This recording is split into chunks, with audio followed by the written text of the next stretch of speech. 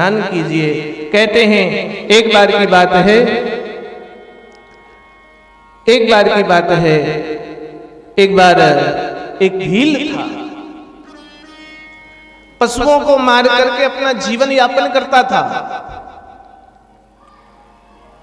घर में दो पुत्र पत्नियाँ थी। और वह भी जंगल में गया। आज उन्हें मारने के लिए। पुरुद्रोह नाम का यह भील वन में गया और वन में बैठा था। बैठे बैठे सुबह से साँझ हो गई। घर से जल का पात्र लेकर के चला था और चूरमा घर से बनाकर चला था। साँझ तक कोई पशु नहीं आए। किसी को मारा मार नहीं पाया। मन में विचार आया कि जब मैंने किसी को नहीं मारा तो मैं फिर इस पशु को बेचूँगा नहीं, कोई धन आएगा नहीं तो हमारे बच्चे भोजन क्या पाएँगे? बच्चे भूखे सो जाएँगे। इस भाव से वह घर नहीं गया। संयोग से जहाँ खड़े होकर विचार और तालाब को देख करके उसके मन में आया, अब संध्या होने वाली है। पशु पक्षी इस संध्या के समय ज़रूर तालाब में जल पीने आएँगे। और जल पीने आएँगे तो वह चुपके से किसी का वध कर लेकिन संध्या का समय है। तालाब पीने, पशु पक्षी तालाब में जल पीने तो आते ही आते हैं, लेकिन सिंह आदि भी आते हैं। इस भय के कारण उस तालाब के किनारे एक वृक्ष था। उस तालाब के किनारे उस वृक्ष पर चढ़ गया। और शिव कृपा से वह वृक्ष बिल्व का वृक्ष था। बेल पत्ते का वह वृक्ष। ध्यान दीजिए इधर। बिल्व के वृक्ष पर बैठ गया। और रात्रि का प्रथम प्रहर आरंभ हो गया। चूरमा खाया नहीं, चूँकि मन में क्या विचार था, आज मेरे बेटे तो कुछ खाए ना होंगे। पानी तक नहीं पिया। क्यों? चूँकि हमारे बेटे भूखे रहे हो। और ऐसे विचार कर करके कर करके बैठा ही था कि एक हिरणी वहाँ से पार हो रही थी। जैसे ही हिरणी को देखा, अपना धनुष तीर तैयार किया बेल के वृक्ष में बैठे बैठे जैसे ही धनुष तीर तैयार किया, बेल के कुछ पत्ते टूट करके उसी वृक्ष के नीचे एक शिवलिंग था, उसके ऊपर उल्टे होकर गिर गए। थोड़ा सा सदा जो पानी का पात्र था, उससे थोड़ा जल भी शिवलिंग पर गिर गया। सद करके जैसे ही तीर चलाने लगा, सतयुग की कथा है। जैसे ही तीर चलाने के लिए तैयार हुआ, उस हिरणी ने कहा, सुनो भील तो मुझे मारना नहीं। भील ने कहा, क्यों? क्योंकि सतयुग में पशु पक्षी भी बोलते थे। त्रेता युग में भी पशु पक्षी बोलते थे। इसका प्रमाण है जटायु से भगवान ने बात की। लेकिन द्वापर युग में श्री बलभद्र जी के श्राप के कारण पशु पक्षी बोलना बंद कर दिए। कहते हैं, भील ने कहा, मैं तुम्हें क्यों ना मारूं? मैं तुम्हें मारूँगा। तुम्हारे शरीर को बेच करके, चमड़े को बेच करके मेरे पुत्र जो भूखे सो रहे हैं, उनका जीवन यापन होगा। हिरण ने कहा, हिरणी ने कहा, मेरे भी चार पुत्र हैं। मैं अपने बच्चों को दूध पिलाने जा रही हूँ। तो मुझे मारना। लेकिन जिस प्रकार तुम्हारे बच्चे भूखे हैं, उस प्रकार मेरे भी तो बच्चे भूखे हैं। इसलिए तुमसे मैं वचन देती हूँ कि मुझे अभी तो छोड़ दो। मैं अपने बच्चों को दूध पिला करके तुम्हारे पास स्वयं आ जाऊँगी। भील ने कहा, मुझे मूर्ख बना रही हो। सुबह से शाम तक मुझे बैठे बैठे समय बीत गया। सुबह से संध्या हो गई। अभी तक कोई जानवर मुझे नहीं मिला जिसे मैं मारू बेच करके घर वापस जाऊँ। हिरणी ने कहा रे मूर्ख! मैं सतयुग की हिरणी हूँ असत्य नहीं बोलती हूँ। यदि मैं अपने वचन पर न टिक पाऊँ, यदि मैंने अपना वचन तोड़ दिया तो मुझे वह दंड मिले। शिव पुराण कहती है, वह दंड मिले जो ब्राह्मण होते हुए भी संध्या न करता हो। हिरण कहती, मुझे वह दंड मिले जो ब्राह्मण होते हुए वेदों को, वेदों का व्यापार करता हो। हिरणी कहती मुझे वह दंड मिले, जो पतिव्रता स्त्री होते हुए भी देह व्यापार करती हो। मुझे वह दंड मिलना चाहिए। संयोग से भील सुबह से संध्या तक, सुबह से लेकर संध्या तक बेचारा भील प्यासा भूखा था, मन में दया आ गई और दया के कारण वह भील हिरणी को जाने दिया। और मन में क्या लाया कि कम से कम चलो, कोई बात नहीं, दूसरा कोई जानवर आएगा। ध्यान दीजिए, यह कथा सुननी बहुत ज़रूरी है। शिवरात्रि आ रही है इसलिए। कहते हैं, जब जब वह हिरणी हिरणी चली गई तो थोड़ी देर के बाद रात्रि के दूसरे प्रहर में एक हिरण आया। वह हिरण हिरणी का पति था। भील ने पुनः तीर धनुष को साधा और जिस प्रकार प्रथम प्रहर में बेल के पत्ते टूट कर गिरे, वही बेल के पत्ते साधने में फिर भगवान शिव के ऊपर उल्टे गिर गए और थोड़ा सा जल भी गिर गया। जैसे ही तीर साधा हिरण ने कहा रे रुक जाओ भी। तू मुझे मार देगा तो मैं अपने पुत्रों का अंतिम दर्शन नहीं कर पाऊँगा। इसलिए मेरी बात मानो, मेरे चार चार पुत्र हैं। एक बार मैं अपने पुत्रों का दर्शन तो करके आऊँ।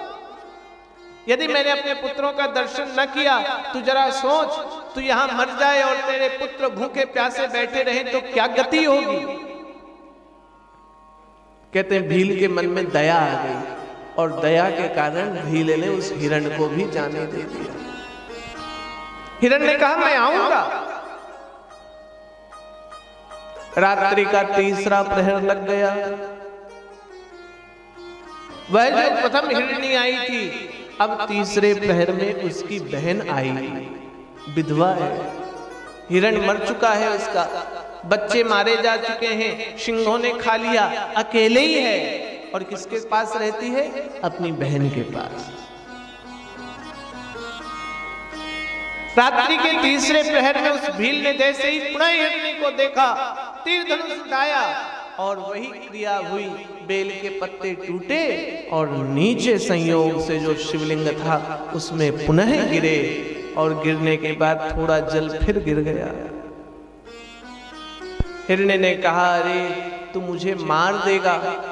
मैं वैसे भी विधवा हूँ, अकेले हूँ, मर जाऊँगी तुम्हारे बच्चों को। मेरे मरने के कारण मेरे देह को बेचने से तुम्हारे बच्चे यदि भूखे नहीं रहेंगे तो इससे बड़ा सौभाग्य कोई नहीं है। लेकिन जानते हो, मैं माँ हूँ, माँ होने के नाते मुझे बच्चों का प्रेम, बच्चों का वात्सल्य पता है। मेरी बहन, रात के एक प्रहर से दूसरा प्रहर, तीसरा प्रहर लग गया। अपने चार बच्चों को खोज रही है। कृपया करके मुझे उन बच्चों को खोजने दो। उनके खोजने के बाद, उनके माँ को देने के बाद मैं तुम्हारे पास पुनः आ जाऊँ। हिरण्य के भील के मन में विचार आया। पहले वाला भी यही बोल के गया। दूसरा भी यही बोल के गया। चलो तीसरा सही, इसे भी जाने दो। और हिर बेचारा भील वहाँ बैठे बैठे, न जल पिया, न वो लाया हुआ प्रसाद खाया। बेल के पत्ते तोड़ तोड़ के नीचे फेंकते रहा और बेल के पत्ते कहाँ गिरते रहे? भगवान शिव ऊपर भगवान शिव के ऊपर वह बेल पत्ते गिरते रहे। संयोग से यह तीनों हिरण कहाँ पहुँच गए? अपने चारों पुत्रों के पास। पहली हिरणी ने दूध पिलाया बच्चों को। कहने लगे देखो, अब इनका ध्यान रखना, मैं तो जा रही हूँ, अब कभी वापस नहीं आऊँगी। सारी बात कही तो हिरण के पति ने कहा, अरे, उस भील को तो मैंने भी आने के लिए कहा है। हिरणी के बहन ने कहा, मैंने भी कहा है। और सत्युग के कारण सत्यवादी हैं हम। मिथ्या नहीं बोल सकते हैं। इसलिए हम तो तीनों जाएँगे। हमारे बच्चों का क्या होगा? चारों बच्चों ने कहा कि हम भी साथ चलते हैं। कितने हो गए?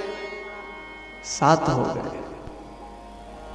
ये सात मिल करके रात्रि का चौथा प्रहर लग गया। और संयोग से वह शिवरात्रि का दिन था।